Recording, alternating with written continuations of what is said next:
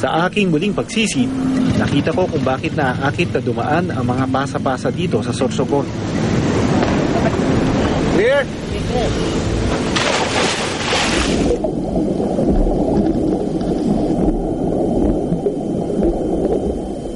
Isa doon sa mga napansin namin nung nag-dive kami, pag dive mo sa ilalim, buhay na buhay yung corals, maganda yung fauna sa ilalim.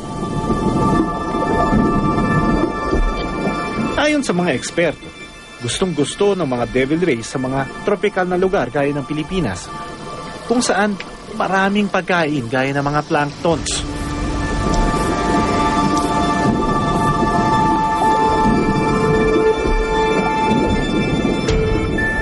May nakita kasi kaming ah, isang pamilya doon, yung mga kasama na doon sa Sea Anemone. At karaniwan na rin doon nakikita natin doon sa mga past dives natin, yung mga clownfish o mas kilala na ngayon sa pangalang Nemo. At dito sa na-document natin, ang dami nila, siguro around 6 or 7 of them.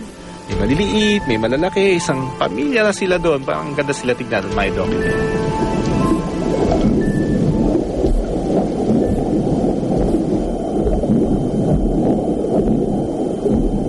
Isa doon sa mga kapansin-pansin sa amin na nakita namin dito ay yung isang pares ng nudibranch na nakuha na namin ah, na i-document na tila nagme-mate, nagpaparami.